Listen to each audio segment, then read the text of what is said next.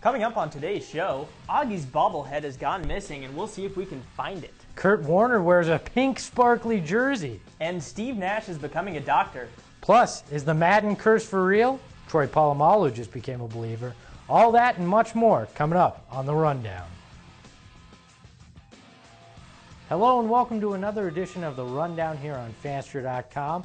I'm Greg Esposito alongside Matt Blake, and plenty to talk about in the week that was in Phoenix sports. And we're going to start off with I'm not even going to introduce Matt. We've got so much to get to. You know what? And I didn't even edition. bother to interrupt you this time, so you know, Oh. I, I think we have a good show today. So let's just get to it. We'll get into it. Augie, uh, the Diamondbacks have a have a bit of an issue. Twenty-five thousand Augie Ojeda bobbleheads, which were supposed to be given away on the September twelfth game against the Milwaukee Brewers, have gone missing.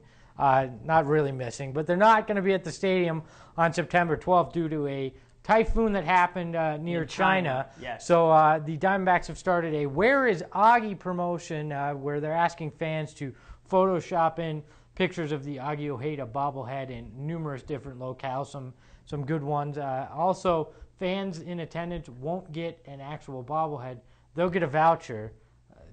I, I think it's kind of funny, kind of a fitting way to wrap up the well, season. I mean, I think it's a, I think it's a brilliant marketing campaign for the D-backs because at the very least, you know, they make things interesting. You know, bobblehead nights are always fun, and then you put further emphasis on it. And where the heck is Augie? And you know, some of the Photoshop jobs not so great. Some of the places interesting, but let's see where he's shown up so far. He has shown up in uh, Egypt, visiting uh, the Great Sphinx near the pyramids. He's shown up. Uh, he's shown up at the Eiffel Tower. He's shown up at the Great Wall of China. So where will he show up next? Uh, let's come up with some of our own. I, I was just disappointed. A lot of generic things. I was hoping that he'd show up at the, you know, today I'm the luckiest man uh, in the world speech at Yankee Stadium, or you know, just random historical things, shaking JFK's hand. When I when I saw this, I thought, uh, you know, the scenes in uh, Forrest Gump where they edited him into a lot of uh, historical things in, Yes. in in American history. I thought more of that. I haven't seen a lot of that See, the. see, I wasn't thinking that angle. I was thinking more current events, you know, helping out uh, in Africa and, and curing world hunger, and maybe perhaps fighting the war in Afghanistan, you know, in the front lines, helping out with the soldiers there, especially on uh, today being September 11th, although you may be watching this video, you know, on any day. So, uh, you know, I, I expected Augie to be in more current event type places, you know. Uh, maybe in North Korea doing something, trying to trying to save those Kim trying to- Jong-il. trying to save the uh, the journalist and bring him back to the U.S. or something. So Uh, that was the more the direction I was thinking. I, uh, I I was thinking maybe they could Photoshop him in as the manager of the Diamondbacks because really, what better uh, kind of thing than a bobblehead to be uh, all Ooh, for that's a you tough know shot there. uh, to, to be all for the uh, organizational advocacy. Uh, he's a yes man. You know, all you have to do hit the head and it's it's yes. I don't think. AJ Hinch is going to like you for that one, but uh, I, I forgive you, so that's good. Let's move on to the second topic of the day. Uh, Kurt Warner is apparently going to star in an episode of the Disney Channel Suite Life on Deck. Uh, Warner will actually star as himself, but the problem with this whole starring thing is he is in a pink jersey, and we managed to find uh, a little, I don't know if you call it a clip or a photo of him in his pink jersey, and it, Kurt, it, just, it doesn't look good. Uh, my, my problem with the whole thing was I didn't know they moved on from the Suite Life of Zack and Cody to Suite Life on Deck, so my TiVo's all messed up.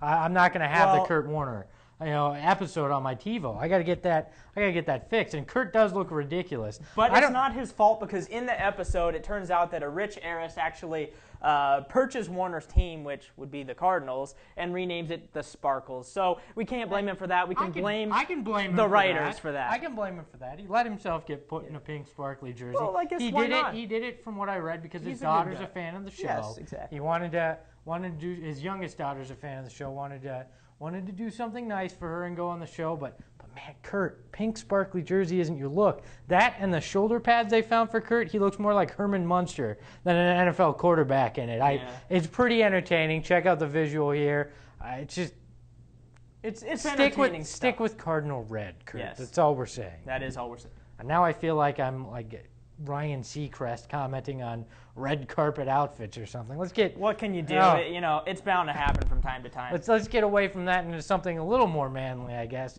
The fact that Steve Nash will be uh, getting an honorary degree from the University of Victoria in Canada in two weeks uh, on September 18th. honorary doctorate in law. So I don't know if he's going to become his own agent since he's going to be a doctor in law.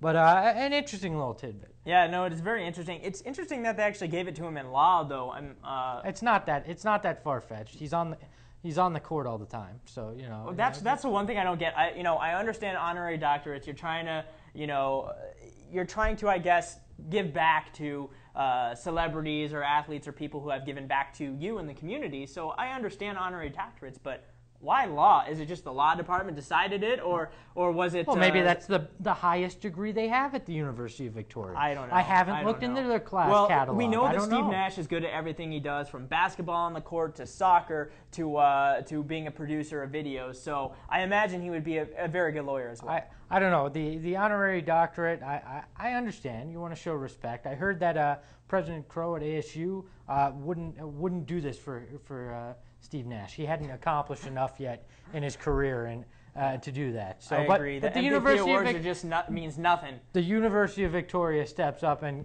in Nash's uh, hometown of Canada, and uh, he, he's a doctor now. So uh, you'll be calling him Dr. Nash this season. So. Yes, and and lastly on the rundown here, uh, the Madden curse is real, and Troy Polamalu uh, can speak to that. He left uh, last night's season opener with a knee injury, and early reports have him out three to six weeks. So uh, I guess the real concern here is should Larry Fitzgerald be worried, and should uh, Cardinals fans be worried about this Madden curse? The real question is over under how many games is Larry Fitzgerald going to miss? Because it's almost a foregone conclusion. Nine of the 12 guys who have appeared on Madden since they've actually put players on the cover have either missed significant time during the season or had their production drop off to a career low. I mean, we're talking about uh, Donovan McNabb, sports hernia. Garrison Hearst fell off the face of the planet after he was on the cover Didn't of Madden. like Shaun literally, Alexander, he just too? disappeared. Shaun Alexander breaks his foot, is never the same. I, it's just uh, you know a, a lot of guys. Uh, Daunte Culpepper, same thing when he was with the Vikings. Uh, on the cover, gets hurt, misses four games. The Vikings don't play the same. His career has never been the same. So uh, maybe maybe the Cardinals dodge a bullet, and, and Larry Fitzgerald is, is spared because the curse has already taken down one player this Yeah, year. th- I mean that was my thought. Is there? There's two players on the cover this year, so uh, I think that's helpful in kind of spreading out the spreading out the risk there, and I think that fits. Hopefully, uh, will have an injury-free season because the Cardinals need him, and uh, especially with Anquan Boldin having his uh, sore hamstring issues and Steve Breaston coming off of uh, some injuries as well. So the Cardinals definitely need all the receivers intact right now. I don't know. I'm not a, a firm believer in curses. I, Me know, neither. Me I- neither. Sure, the the Red Sox they were cursed. The uh, the Cubs they're cursed by the goat. Curses are all You know, mental. That's it. I, I, I don't know. There's maybe some credence to it. Obviously, there's something going on. A lot of guys get Absolutely. Get injured, uh, and I, I don't know.